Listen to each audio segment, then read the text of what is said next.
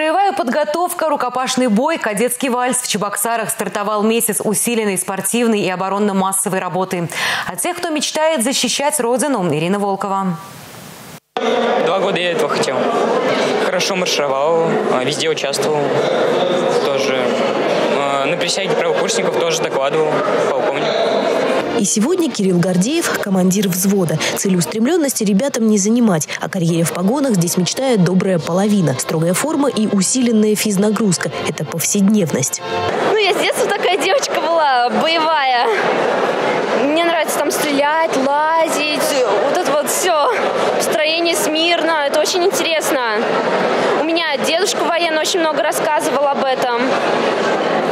Вот меня как-то занесло стопам деда, может быть. Он очень много армии рассказывал о своих друзьях. Папа был в армии, он чуть не дошел до майора. Ему пришлось этот вернуться домой, поэтому я хочу так же. Но уже продолжить как бы его путь. Важная в истории страны дата – 75-летие Великой Победы. Пройдет красной нитью через все события месяца. И, конечно, юнормейцы будут встречаться с ветеранами Великой Отечественной войны. Во всех школах города пройдут уроки победы.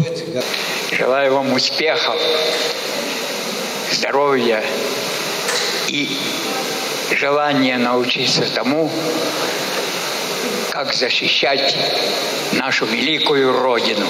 Кадеты, курсанты детской полицейской академии, юнормейцы станут активными участниками основных мероприятий. Дети будут писать а, свои проекты. А, кроме того, зорнички и орлята, они будут готовиться к тем мероприятиям, состязаниям, которые пройдут сначала в городе, потом, а, соответственно, на уровне республики. Это изучение и устава, это и огневая подготовка, строевая подготовка, но другие мероприятия, сопутствующие именно военно-патриотическому воспитанию и подготовке, скажем так, несовершеннолетних к будущей военной службе. К городским школам вскоре подключатся и районные. Старт республиканскому месячнику оборонно-массовой и спортивной работы дадут 25 января. Ирина Волкова, Андрей Шоклев. Республика.